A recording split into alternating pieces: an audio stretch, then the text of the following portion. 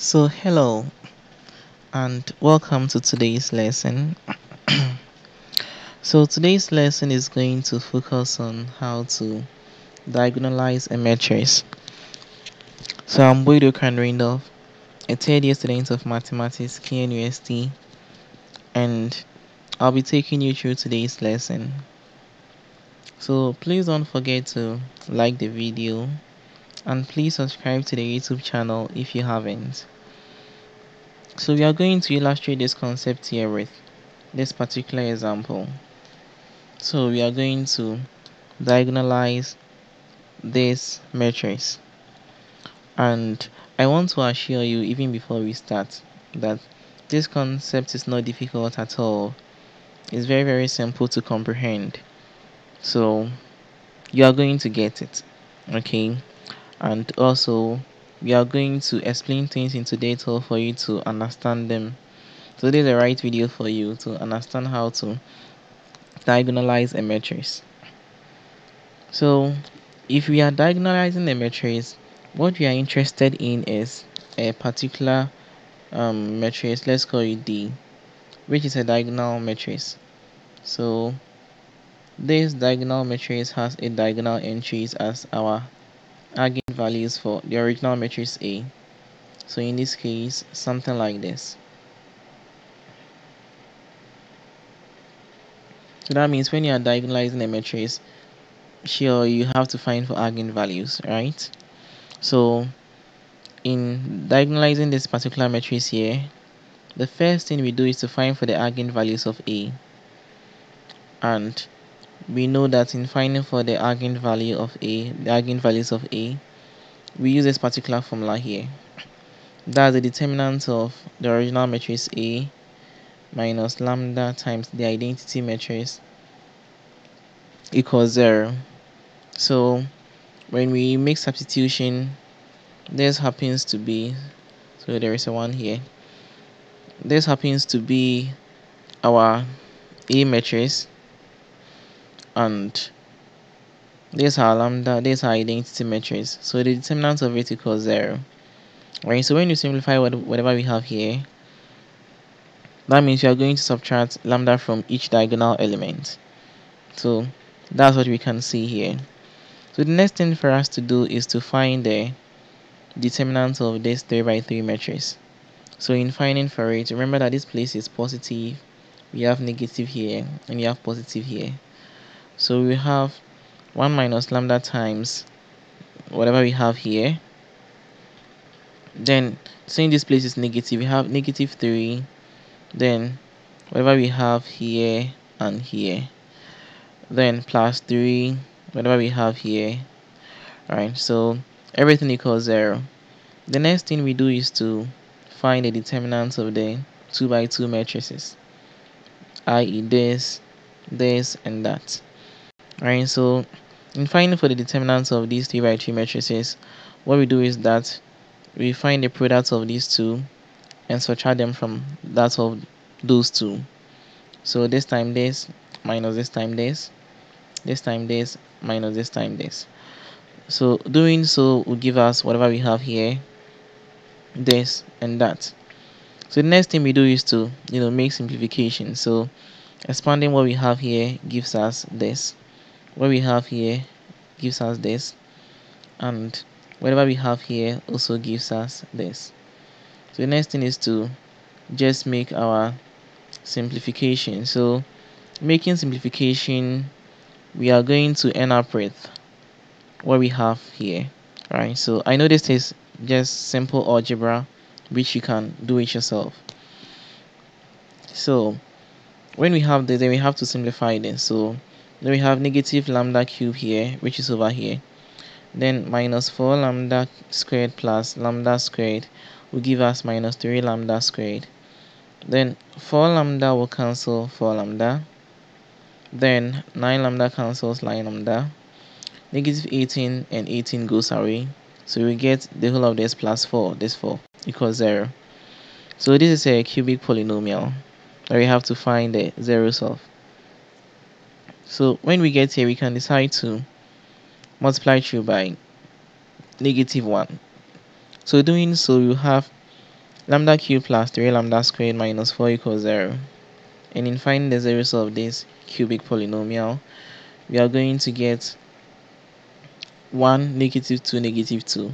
So that means our first eigenvalue is 1, the second is negative 2, and the third is negative 2. So um, take note that these two here gives us repeated roots. So that means we have repeated eigenvalues. So this is the first step in finding or in diagonalizing a matrix, alright? So actually after getting our diagonal elements, we know that our our eigenvalues, we know our diagonal matrix will be given us um, 1, 0, 0, 0, negative 2, 0, 0, 0, negative 2. Or when we get here, we proceed to find for so there's the answer though, but we don't end here. We proceed to find for the corresponding eigenvectors. So we have lambda 1 to be 1 and lambda 2 and 3 to be negative 2. So that means we have to find the eigenvectors corresponding to these eigenvalues. So let's just take the first eigenvalue 1. So recall that in finding for the eigenvectors, this is the formula we use. So making substitution is going to give us whatever we have here. So you could see here we are subtracting 1 from each diagonal element because the eigenvalue we are using here is 1. Then there's our, um, this here is representing the eigenvector we are finding for. And there's our 0 vector. So when we do this subtraction here, we are going to end up with what we have here. Alright. So this of the form AS equals B. Then we like to write this particular thing in the augmented matrix form. So in writing it, we have whatever we have here. Then um, the next thing we do is that we have to reduce this to the row echelon form using Gaussian elimination. Alright, but remember for the Gaussian elimination, what we do is that we always make sure the element that we have here is 1. But in this case, it is not so. So the only way we can do that is to swap row 3 and row 1. So we swap row 1 and row 3 and that gives us this. Then the next thing is to make sure all the elements beneath are A11 are 0. So this is already 0, but this is not 0. So that means we have to work on that. So to make that 0, we use the formula row 2 equals the new row 2 equals the old row 2 minus row 1. So that's going to give us this 1 minus this, which is 0, 2 minus 1, which is 1, 1 minus 0, which is 1. So this becomes our new augmented matrix. Then when this our A22 is 1, that's fantastic. But we have to make sure whatever is beneath that is also 0. So we have to make this 0. And the only way to make that is to use this relation. So row 3 equals row 3 minus row 2. So this is the new and this is the old. So that's going to give us 1 minus 1, 0, 1 minus 1, 0, 0 minus 0, 0. And that gives us this. So this of the form that we want. So we can write this back to this form. ES equals B. The domain writes to this form, then what this implies is that we have k1 plus k2 equals 0 and k2 plus k3 equals 0. So note that um, you see in our third row we have 0, 0, 0, right? So this implies that the k3 here is a free coordinate. So since a free coordinate, then we will have to um, represent it by a dummy variable. So we can choose any dummy variable. But in some cases we do compare it to a natural basis. So we choose it to be that one or zero. But in this case we are going to choose a dummy variable. So we choose k3 to be s right? So since k3 is s you know from this equation k3 is equal to negative k2 is equal to negative k3 so that means k2 will be negative s and from this equation we have here k1 is equal to negative k2 so making substitution will give us s right so that means we found k1 to be s k2 is equal to negative s and k3 is equal to s. So in writing our eigenvector, we are going to get s minus ss. And when you um, put s out, right? So you see when we bring s out, we get 1, negative 1, 1. Right, so this here becomes the eigenvector corresponding to the eigenvalue 1. I hope you get it. So hence the eigenvector corresponding to the eigenvalue 1 is what we have here. Then we have to find for that of lambda equals negative 2.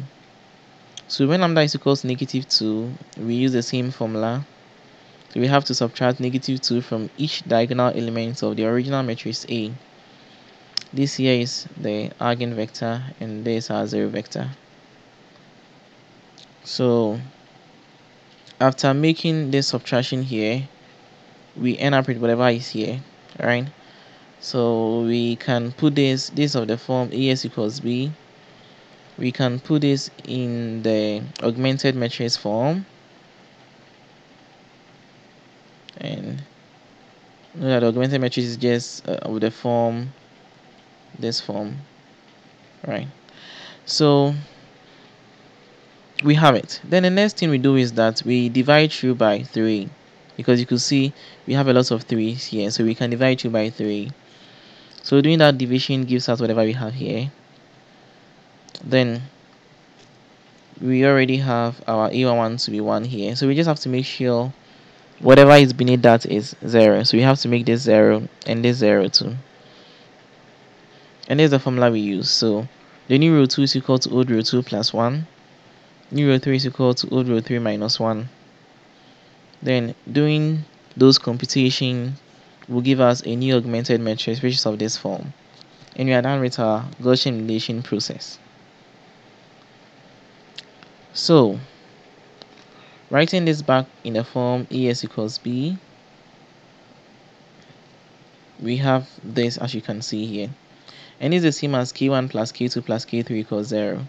So here you can see the, the whole of root 3 is 0, the whole of root 2 is 0.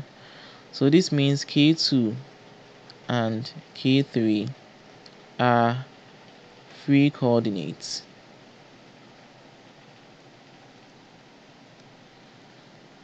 So since they are free coordinates, we choose a certain dummy variable for them. So we choose, let's choose k3 to be s and k2 to be t. So from this particular equation, we have k1 equals negative k3 minus k2, which gives us this here when you make substitution. So that means our v will be equal to k1 and k1 is minus s minus t. K2 is t. K3 is s right? But we can decide to you know expand this. So when you expand this we'll get what we have here. So you can see v will be equal to when we take the s part the first part will give us negative 1 because the coefficient of s here is negative 1 we don't have any x here so 0 then 1 then we get plus t negative 1 1 0 so we have this here. So when you have this here you can see we have two eigenvectors so this is our eigenvector 1 this is our eigenvector 2 so the reason I'm getting two eigenvectors is you realize that for lambda equals negative 2 we had twice of it. So lambda 2 was negative 2 and lambda 3 was also negative 2 so we had repeated roots. So that's the reason why we are getting two eigenvectors for that right? So that means this are eigenvector 2 eigenvector 3 recall that we've already found for the first one. So we have a certain p matrix such that it is given by the entries of our eigenvectors so this was our eigenvector 1 eigenvector 2 eigenvector 3 so that is our p. And the reason why you form our p is that this p helps us to be able to um, know the property for the diagonal matrix right? So our diagonal matrix as i said is just the a diagonal matrix with the diagonal entries being our eigen values. So when you make that substitution this becomes a diagonalized matrix. And this our diagonal matrix satisfy this condition. So the condition is that the original matrix A is equal to the P that we found here. Times the diagonal matrix D then times P inverse.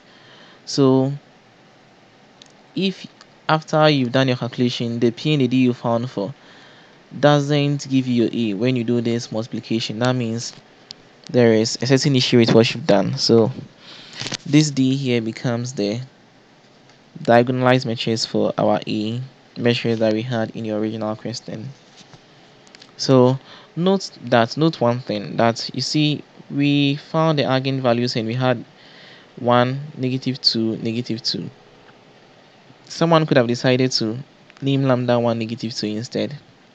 Lambda 2 negative 2 and lambda 3 1 so in this case the person's diagonalized matrix will be negative 2 0 0 0 negative 2 0 0 0 1 and the person's p matrix will also change right? So what i want you to know is that the most important thing is for the diagonalized matrix the entries are the eigenvalues it doesn't matter how you're going to do the arrangements okay? So if you solve and you get this and you see this this is also correct. So thank you very much. Please don't forget to subscribe to the youtube channel. Please like the video. I wish you all the best